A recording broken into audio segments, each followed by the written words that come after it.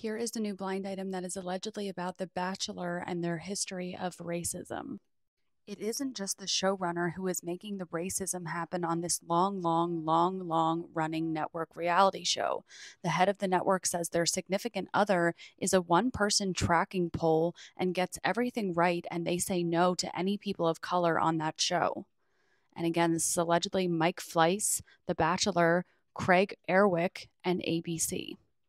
And the related headline reads Bachelor producers go silent when asked about franchise's racial issues. Journalist responds, I guess we have our answer.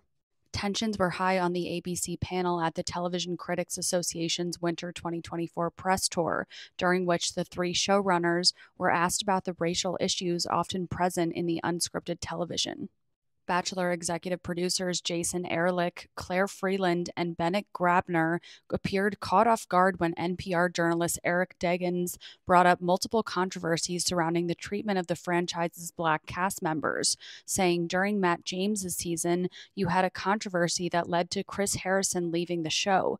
Matt was a little critical of how you presented his father. Rachel Lindsay, the first ba- black bachelorette, has been critical of how the show talks about race.